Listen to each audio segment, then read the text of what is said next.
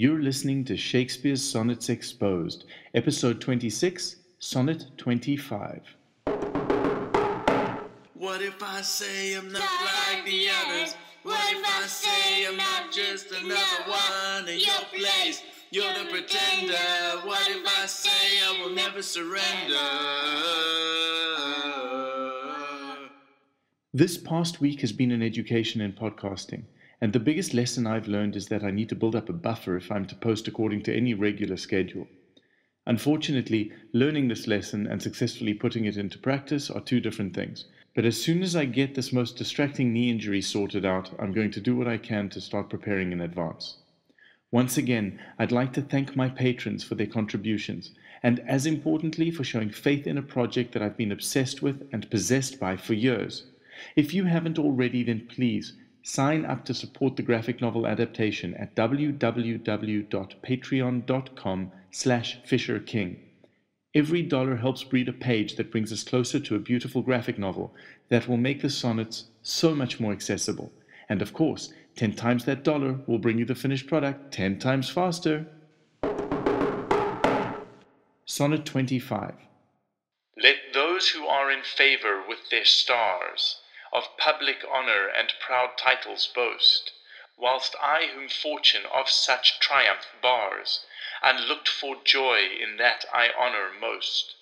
Great princes' favorites their fair leaves spread, but as the marigold at the sun's eye, and in themselves their pride lies buried, for at a frown they in their glory die.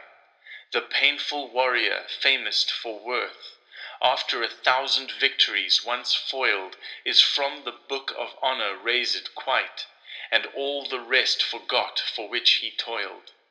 Then happy I that love and am beloved, where I may not remove nor be removed.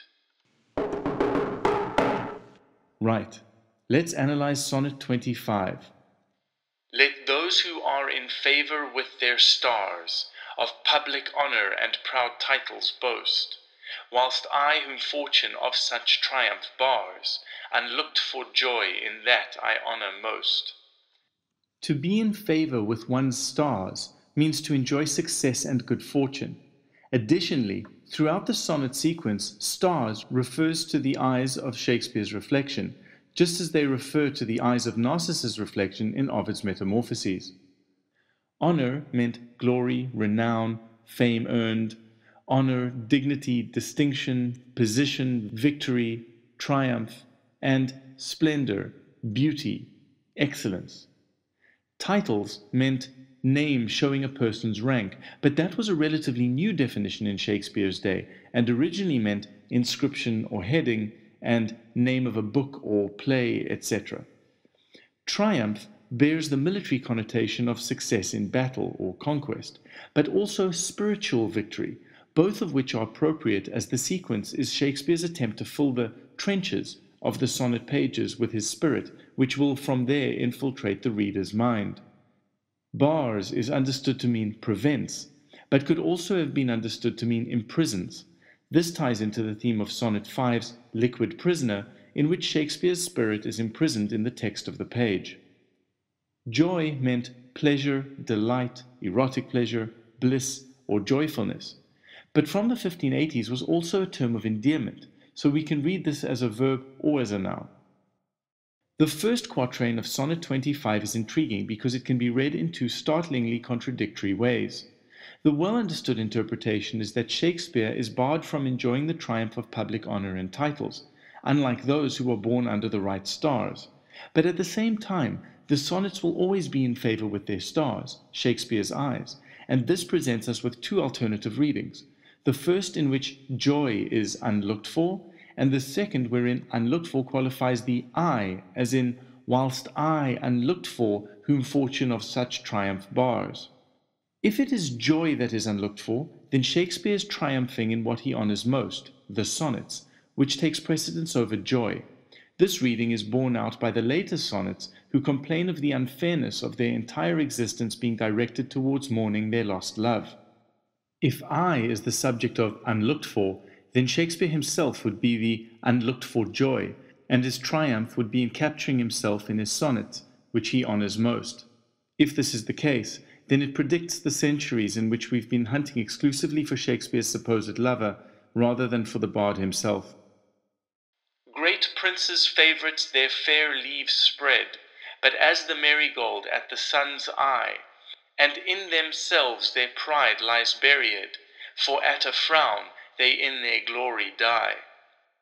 According to the Arden sonnets, princes in Elizabethan usage could be female or male, which takes us back to the master mistress of Sonnet 20. I've now invested far too much time travelling down the rabbit hole of Ovid's Metamorphoses looking for references to princes, public, and favorite, and have had to call off the search in order to make progress with this episode, so I've resigned myself to scribbling down my interim results for another time.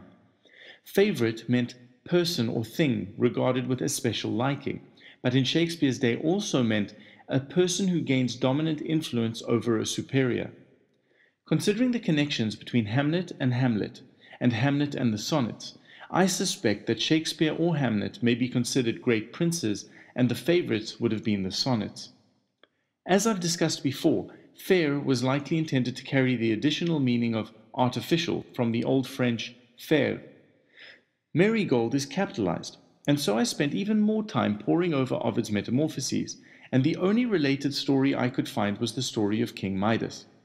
After Bacchus granted King Midas his wish to turn everything he touched into gold, the king is described as rejoicing in his harm away full merry, and later Phoebus punishes him with ass's ears for having poor taste in music, which is clearly the inspiration for Bottom's transformation in A Midsummer Night's Dream. I've read elsewhere the story that Midas's daughter was named Zoe, or Marigold, and was accidentally turned into gold by her father. But that version is not from Ovid, and so I cannot be sure of Shakespeare's familiarity with it.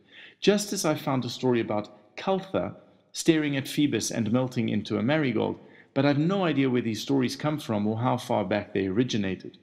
The marigold also happens to be the flower of Dia de Muertos, or Dia de los Muertos, which I'm fairly confident Shakespeare wouldn't have been familiar with. The symbolism of flowers also poses difficulties when it comes to discovering their origins, and the we don't need to cite our sources internets inform me that marigold symbolizes cruelty, grief, jealousy, and passion. All of these fit the sonnets well, but I can't verify that any of them would have been familiar in the 16th and 17th centuries. The Arden sonnet states that the acknowledged characteristic of the Elizabethan marigold was that it opened and closed in response to the sun. As discussed in the previous episode, the sun could refer to the light that pours onto the page whenever the reader opens the book of sonnets. Here, this happens when the leaves or pages are spread, and just like the marigold flower, they are buried amongst themselves whenever the sun ceases to shine.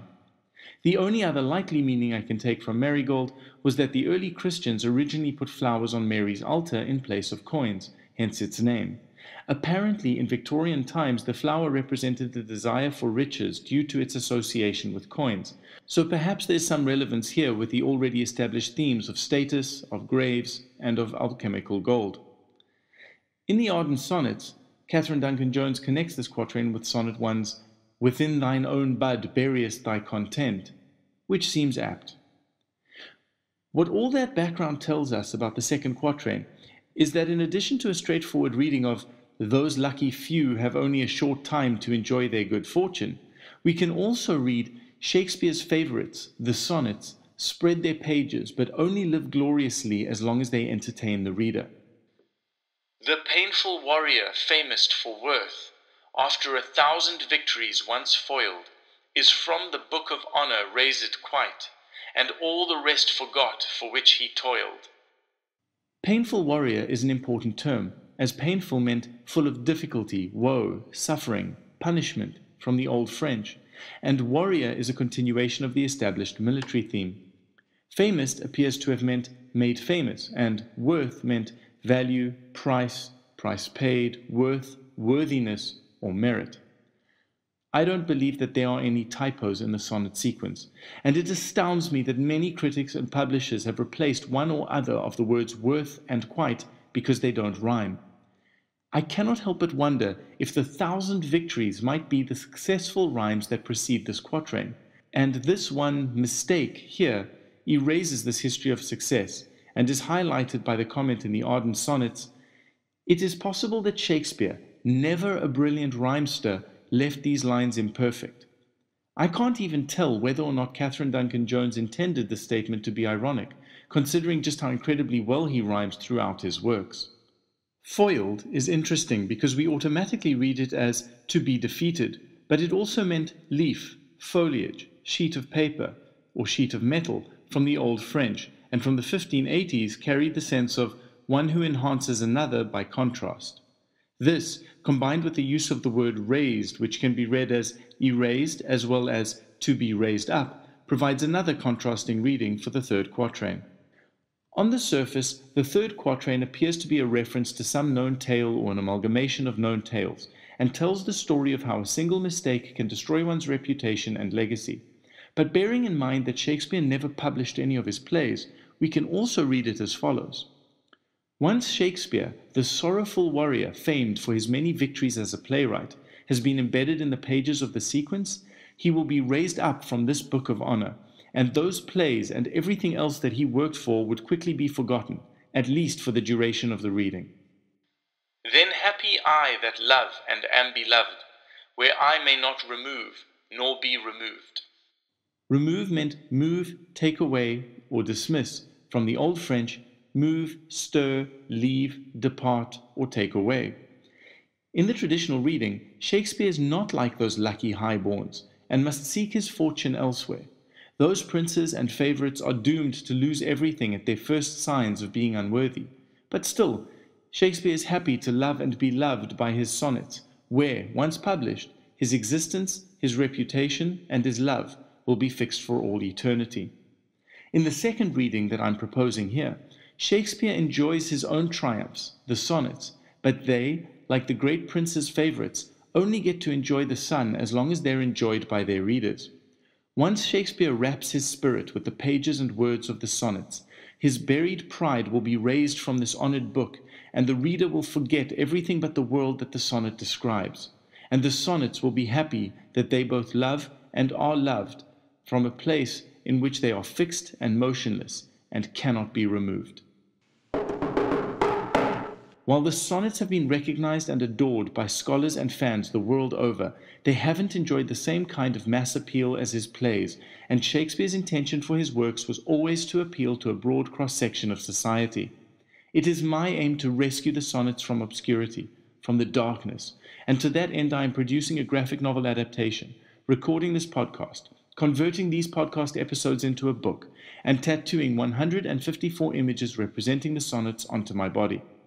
Once again, I need your help to make this happen. Please consider signing up to support this project at www.patreon.com slash fisherking. Keep up with the graphic novel progress at sonnetcomix.com and join our community discussions on Reddit at slash r slash sonnetcomix with an X. Thanks for listening. What if I say I'm not, not like the others?